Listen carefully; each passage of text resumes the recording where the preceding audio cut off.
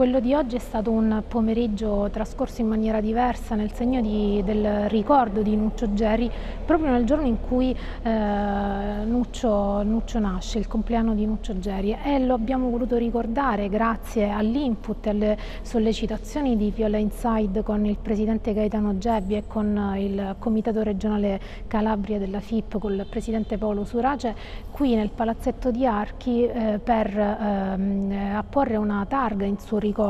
grazie anche all'operato che, che, ha fatto lui durante gli anni in cui ha, è stato allenatore di tantissimi giovani che proprio qui oggi si sono ritrovati per ricordarlo, tutti i ragazzi e ragazze che hanno, hanno avuto come coach Nuccio Geri eh, per di nuovo eh, sui campi, sul campo da basket, quello che era il luogo più a lui congeniale e quello grazie al quale lui riusciva a trasmettere, a trasferire ai suoi giovani una voglia di, di, di, di, gioco, una voglia di vita, una passione per il basket, ma una passione poi che si rivela una passione per la vita. Abbiamo posto una targa in ricordo di Nuccio Geria nella palestra di Archi, una persona che ha dedicato tutta la sua vita per il mondo del basket, eh, per lo sport, un educatore, tantissime eh, generazioni si sono formati ed è stato un educatore, un, una persona che ha,